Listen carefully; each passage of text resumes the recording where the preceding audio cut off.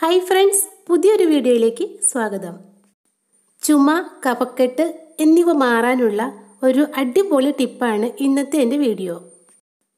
നമ്മുടെ നെഞ്ചിൽ കെട്ടിക്കിടക്കുന്ന കഫത്തെ വേരോടെ അലിയിച്ച് കളയാൻ സഹായിക്കുന്ന ഒരു മരുന്നാണിത്. ഇതുണ്ടാക്കാനായിട്ട് നമ്മുടെ വീട്ടിൽ തന്നെയുള്ള സാധനങ്ങൾ മതി. ഒന്നര ഗ്ലാസ് വെള്ളം ഒരു സോസ് പാനിലേക്ക് ഒഴിച്ചു കൊടുത്തിട്ടുണ്ട്. ഇനി ഇതിലേക്ക് ആവശ്യമായ ഇൻഗ്രീഡിയൻസ് ഓരോന്നായിട്ട് നമുക്ക് ഇട്ട് കൊടുക്കാം. നെഞ്ചിൽ കെട്ടിക്കിടക്കുന്ന കഫത്തെ വെള്ളം പോലെ അലിയിച്ച് കളയാൻ കഴിവുള്ള ഒന്നാണ് കുരുമുളക്. നമ്മുടെ ഈ മരുന്നിന് എരിവ് വളരെ കുറച്ച് മാത്രം മതി. അതുകൊണ്ട് അഞ്ച് കുരുമുളകാണ് ഞാനിവിടെ എടുക്കുന്നത്.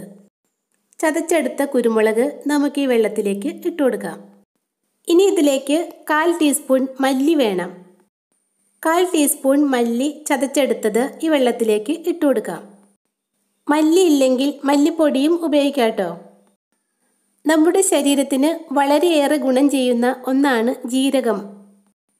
കാൽ ടീസ്പൂൺ ചെറിയ ജീരകം ചതച്ചതുകൂടി നമുക്ക് ഈ വെള്ളത്തിലേക്ക് ഇട്ട് കൊടുക്കാം. കഫക്കെട്ടിനെ പൂർണമായും ഇല്ലാതാക്കാൻ കഴിവുള്ള ഒന്നാണ് ഇഞ്ചി.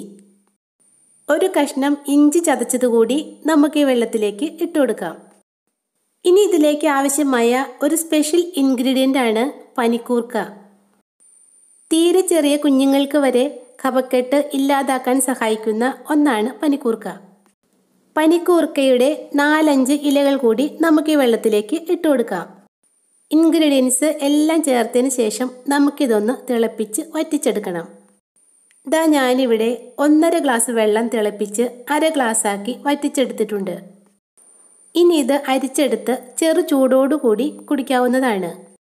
ചുമയും കഫക്കെട്ടും കൂടുതലാണെങ്കിൽ ഇതിലേക്ക് ഒരു ടേബിൾ സ്പൂൺ നാരങ്ങ നീര് കൂടി ചേർത്ത് കൊടുക്കാം. രാവിലെയും രാത്രിയിലും ആഹാരത്തിന് ശേഷം നമുക്ക് ഈ മരുന്ന് അര ഗ്ലാസ് കുടിക്കാവുന്നതാണ്. ഒരു പ്രാവശ്യത്തെ ഉപയോഗം കൊണ്ട് തന്നെ എത്ര കടുത്ത ചുമയും കഫക്കെട്ടും ഇല്ലാതാക്കും. മാത്രമല്ല ദഹനത്തെ സഹായിക്കുകയും ചെയ്യുന്ന ഒരു മരുന്ന് കൂടിയാണിത്. വീഡിയോ ഇഷ്ടമായെങ്കിൽ ഈ ചാനലൊന്ന് സബ്സ്ക്രൈബ് ചെയ്തേക്കണേ. താങ്ക്